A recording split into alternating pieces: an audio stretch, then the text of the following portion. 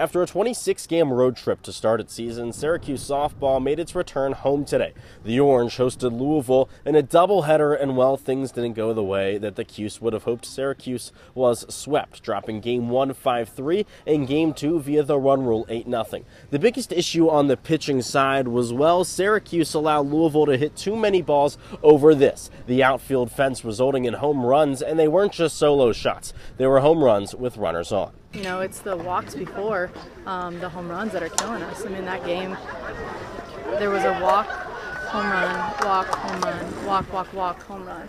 So, you know, the difference of a three run game and an eight run game. If you're going to allow those big flies, then the offense also has to contribute, or else it's a recipe for disaster. And, well, of course, the offense did not show up today. Coach Doepking, she was quite honest after the game about what she thought about her team's performance at the plate. Terrible terrible. I mean, uh, we knew timing was going to be an issue. It's been an issue pretty much the entire season. Um, last weekend, obviously, I thought we swung it pretty well and we figured some things out. And um, today was another one of us just not being able to get on time. Honestly, I think just kind of going off what we did last week against Notre Dame, kind of being more aggressive at the plate. Seems kind of a little day we were inconsistent with that. Um, putting in work and being ready to attack tomorrow. Well, the Orange can fix their issues both in the circle and at the plate tomorrow at noon in the series finale against the Cardinals. Reporting from Skytop Softball Stadium, Adam Gotkin, Citrus TV.